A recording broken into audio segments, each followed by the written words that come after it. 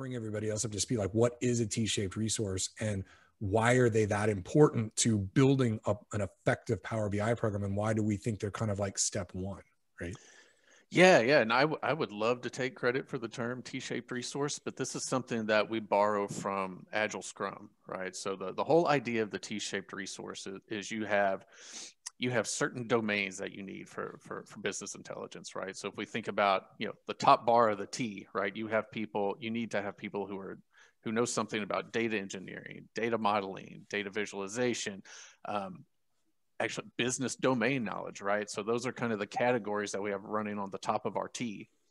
Now the the leg of the T, right, that we have here, that's really the depth within each each of those categories.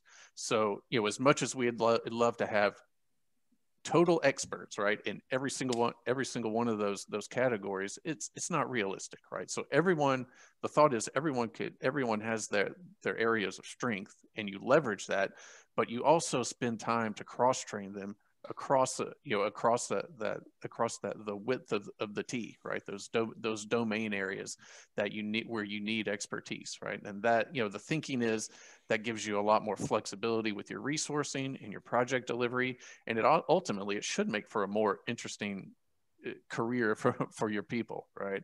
And kind of what i mean by you know flexibility with your projects is you know you know, typically we think about the old way, you know, a data, a, an ETL developer could only do ETL development, right? A data modeler only did data modeling. So you had to have, you, you had to have these, you know, teams of people, always had to have a team of people working together. Not that that's bad, but with the T-shaped resource, you have people who can flip flop between different, between different roles and give you a lot more flexibility but they but and that's why we have this slide up because as funny as we were going through this mm-hmm. a, a, few days ago in our in our our uh, program prep, I, I started laughing because I was like, you know, on on the infrastructure side of the house, right? On on the consulting side of the house, we call those unicorns, right? And it's because they're mythical creatures that don't exist in real life, right?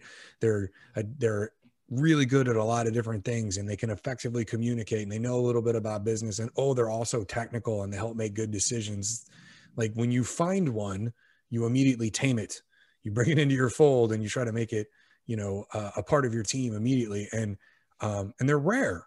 They're really really rare